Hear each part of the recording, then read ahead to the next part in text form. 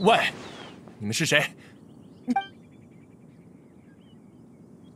嗯，物证确凿。来吧，坦白从宽。我劝你不要折耗我的耐心呢。一派胡言！我我还会怕你们？那你确实应该害怕一些。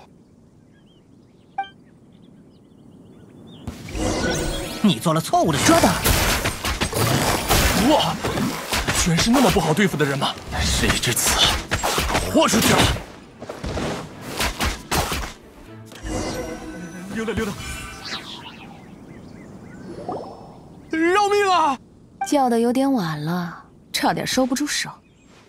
我错了，我错了，我知道怕了，您高抬贵手。哼，自己交代吧，你只有一次机会。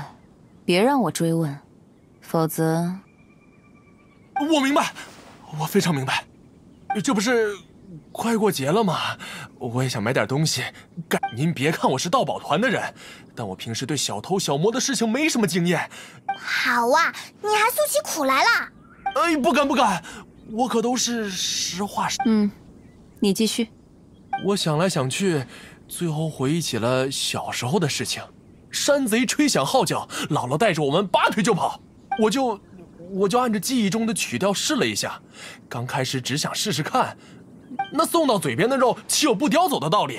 呃，我我是说，我现在已经知道错了，这东西我原样给他们还回去。请你是想从轻处理，或者私了，别让你在牢里过海灯节。是。是这个小算盘倒是打得不错，可惜我最初要你坦白从宽的时候，跟我走一趟吧，先生，把东西还了，随我找到当事人，当面赔礼道歉之后，我再押送你去总务司。嗯，你也曾是受害者，应该最能理解那份害怕的心情才对。难道贪欲比你的恐惧更重要？再说。有那份才艺，找点正经活不是很能养活自己吗？您说的是。哼，我点到为止了，你之后有的是时间慢慢反思。收尾工作我会顺手处理掉，我们就在此告别吧。嗯。啊，还有什么事吗？暂不清楚你们的消息来源，安全起见，回去后不必向任何人提及我。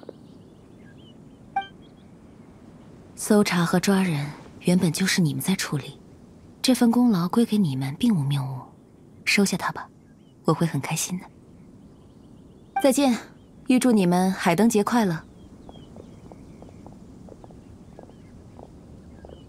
叶兰做事真利落，交给他就放心了。